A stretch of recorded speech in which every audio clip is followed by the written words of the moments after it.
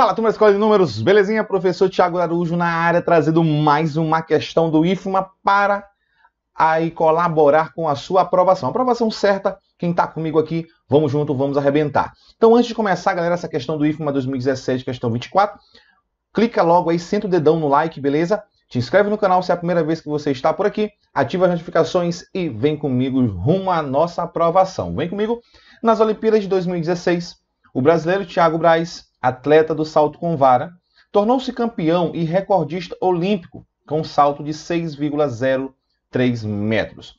Após três semanas, ele disputou a, a Diamond League de atletismo em Zurique, na Suíça e conseguiu a marca de 5,84 metros, ficando em terceiro lugar.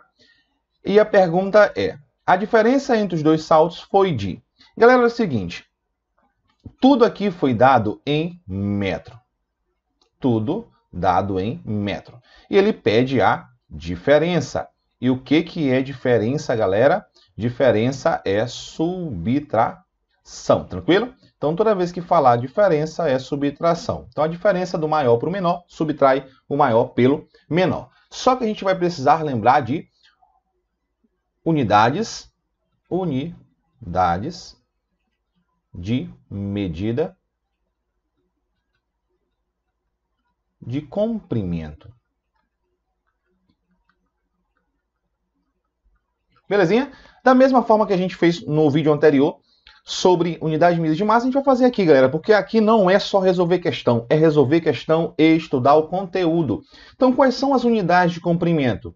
Você tem quilômetro, você tem aqui, ó, hectômetro, você tem decâmetro, você tem aqui o metro, decímetro, centímetro e milímetro.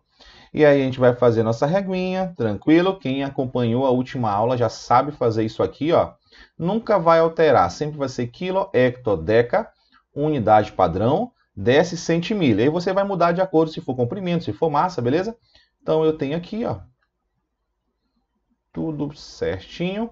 E você tem que lembrar mais uma coisa.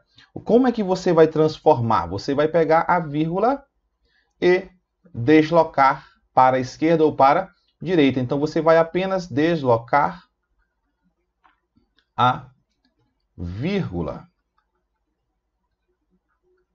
Dependendo da unidade que você quer transformar. Então, galera, é o seguinte, olha só.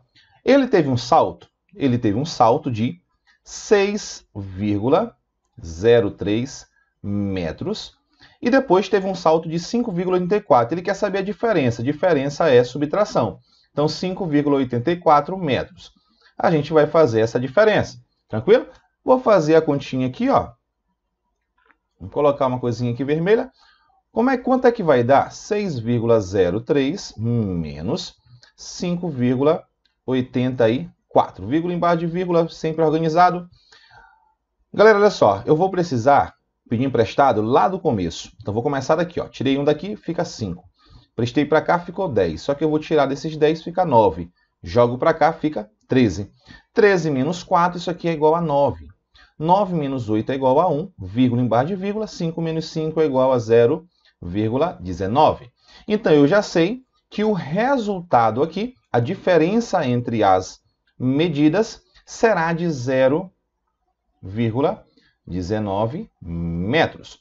Galera, olha só, tem a opção 0,19 metros? Não, mas eu tenho as opções aqui, olha só, em milímetro, eu tenho a opção em centímetro, e tem a opção em decímetro. Eu já sei que essas opções 180 e 0,18 não podem ser.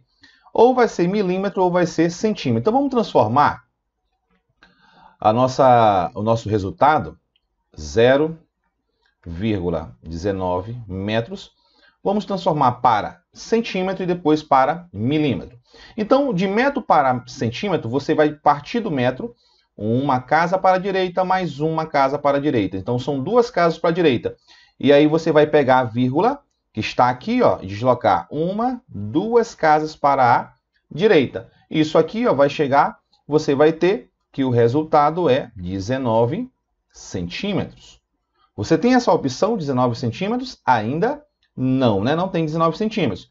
Então vamos transformar para milímetro. De centímetro para milímetro, eu posso pegar a vírgula e deslocar o quê? Uma casa para a direita. Lembrando o seguinte, essa vírgula, agora do 19 centímetros, está aqui. Uma casa para a direita tem que vir para cá. Ó. Não tem nenhuma casa, eu vou ter que fazer o quê? Acrescentar um zero. E isso aí, galera, vai me dar o quê?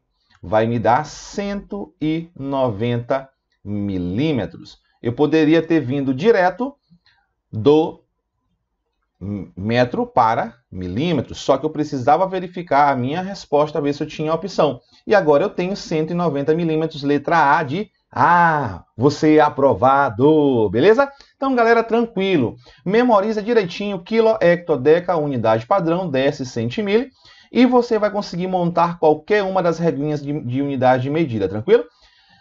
Se eu quisesse transformar diretamente de metro para milímetro, seriam quantas casas? De metro para decímetro, uma, duas, três casas. E aí você viria com a vírgula aqui, ó, uma, duas, três. Você ia parar diretamente no 190 milímetros. Beleza? Então, galera, valeu. Se você ajudou, se você achou, né, nem ajudou, né? Se você achou que essa solução, essa explicação massa te ajudou de alguma forma, então senta o dedão no like, deixa o seu gostei, clica nesse botãozinho do legal para ajudar, galera, a gente no canal aqui, a forma de vocês retribuírem com a gente e da gente continuar oferecendo conteúdo gratuito e de qualidade. Além disso, se você está aqui pela primeira vez, te inscreve aí, ativa as notificações para você receber sempre em tempo real qualquer vídeo que a gente postar por aqui, beleza? Compartilha com seus amigos, coloca nos comentários qualquer dúvida e qualquer sugestão, segue a gente no Instagram. Tem gente que está esquecendo de seguir, segue lá. Vai ser um prazer te receber por, por lá. Muitas dicas, dicas de matemática básica, muita coisa boa por lá. Então, galera, valeu, bons estudos, até a próxima, fui!